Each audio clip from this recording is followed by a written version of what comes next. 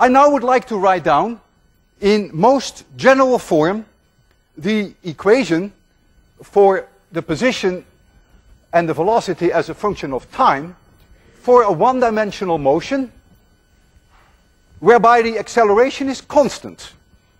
So it's going to be one-dimensional again, and we have a is going to be a constant.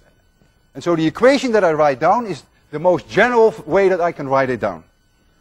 So we're going to get x equals some number c1 plus some c2 times t plus some c3 times t squared.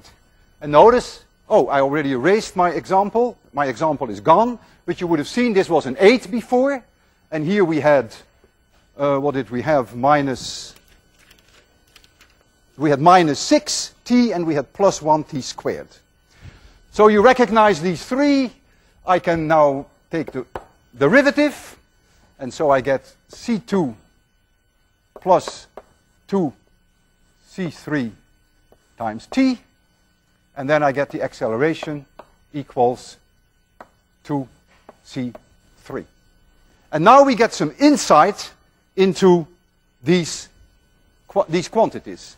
Clearly, x1, a c1, is the position of x at time t equals 0, for which we often write an x0. Because when t is 0, that is where x is. c2 is really the velocity at time t equals 0, because when t is 0, that's when c2 is v. And the acceleration is not changing with time, is 2 c3, therefore c3 is half the acceleration. So this gives you some insight in the meaning of these quantities, and you can see, you can read now some, some physics in there. C1, C2, and C3 can independently be either zero, or larger than zero, or negative. Makes no difference. Each one of these combinations is a valid possibility in physics.